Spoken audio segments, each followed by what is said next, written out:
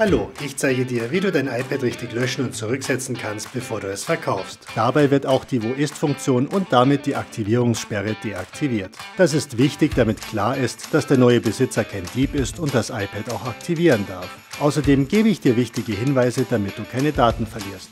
Komplett anschauen lohnt sich also. Trotzdem gibt es für einige Kapitelmarker und die Möglichkeit, die Wiedergabegeschwindigkeit zu erhöhen. Ich werde das Ganze mit iPadOS 16 zeigen.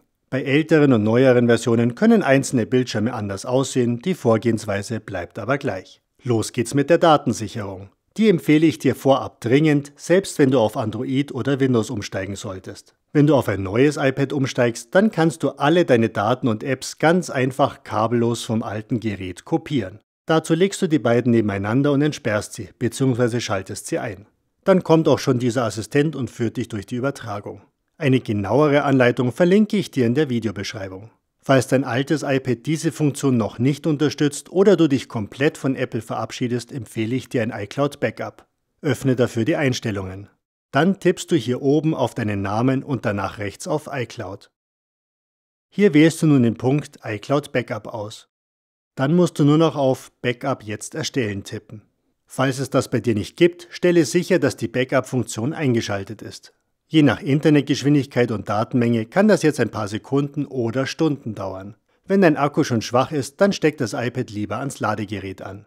Übrigens sind in iPads Lithium-Ionen-Akkus verbaut. 0% und 100% Ladezustand schaden diesen Akkus. Aber dafür ist ihnen alles andere ziemlich egal. Ist die Datensicherung fertig, steht da einfach nur wieder Backup jetzt erstellen und darunter sollte heute mit der aktuellen Uhrzeit stehen.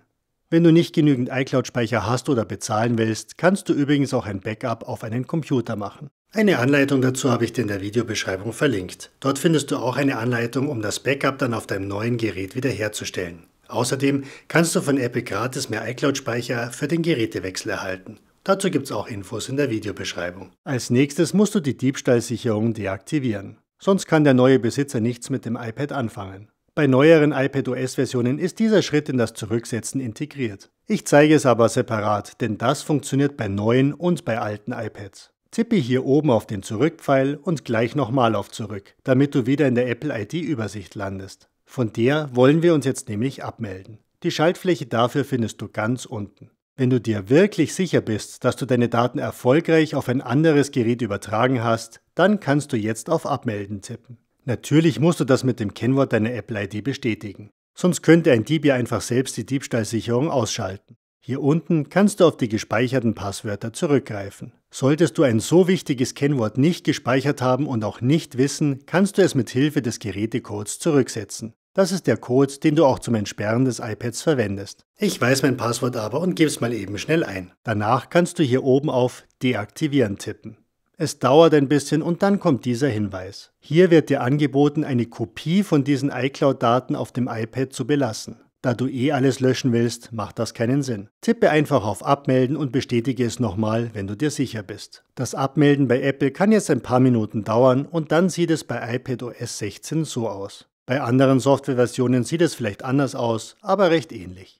Nun haben wir sichergestellt, dass der neue Besitzer das iPad benutzen kann. Als nächstes löschen wir alle Daten, damit er die eben nicht benutzen kann. Dafür tippst du in den Einstellungen auf Allgemein. Dort findest du ganz unten die Schaltfläche iPad übertragen zurücksetzen. Seit iPadOS 16 kannst du hier auch nochmal die Übertragung auf ein neues iPad starten. Bei früheren Versionen sehen diese Bildschirme eventuell anders aus, die Vorgehensweise bleibt aber die gleiche.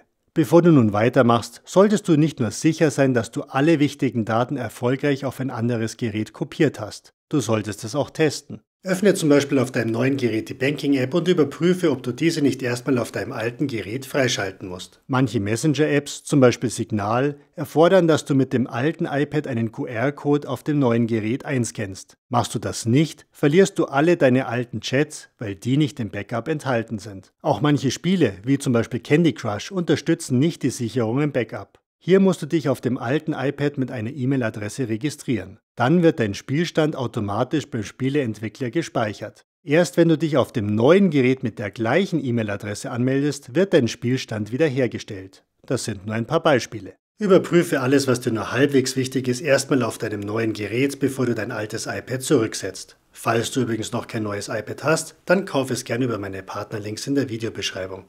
Du bekommst dadurch einen super Preis und ich bekomme vom Händler eine kleine Provision. Vielen Dank schon mal für deine Unterstützung. Sobald du dir sicher bist, tippst du hier auf alle Inhalte und Einstellungen löschen. Dabei wird wirklich alles sicher gelöscht. Sämtliche Daten inklusive Fotos, Dokumente, Apps, Kontakte und so weiter. Auch alle Einstellungen werden zurückgesetzt und sind danach wieder so, als wäre das iPad frisch aus der Schachtel gekommen. Das kannst du hier auch nochmal lesen und dann auf Fortfahren tippen. Damit das niemand machen kann, um dich zu ärgern, musst du das Löschen noch mit deinem Gerätecode bestätigen. Ab jetzt gibt's kein Zurück mehr. Je nach Speichergröße kann das Löschen ein paar Minuten dauern. Schwächelt dein Akku, solltest du das iPad lieber an den Strom anschließen. Wenn das Löschen fertig ist, kommt der normale Willkommensbildschirm, wie bei einem neuen iPad. Durch langes Drücken der Ein-Aus-Taste kannst du es abschalten und dem neuen Besitzer übergeben. Wenn dir mein Video gefallen hat, dann gib mir bitte einen Daumen hoch, wenn nicht, dann gib mir zwei Daumen runter und beschimpf mich wüst in den Kommentaren. Falls du meinen Kanal unterstützen möchtest, lass gerne ein Super Thanks da. Und wenn du keine neuen Videos mehr verpassen willst, dann abonniere gratis meinen Kanal und aktiviere auch die Benachrichtigungsglocke. Also dann, bis zum nächsten Mal bei Mexiko Anleitungen und Tutorials. Fertig, Servus, ciao.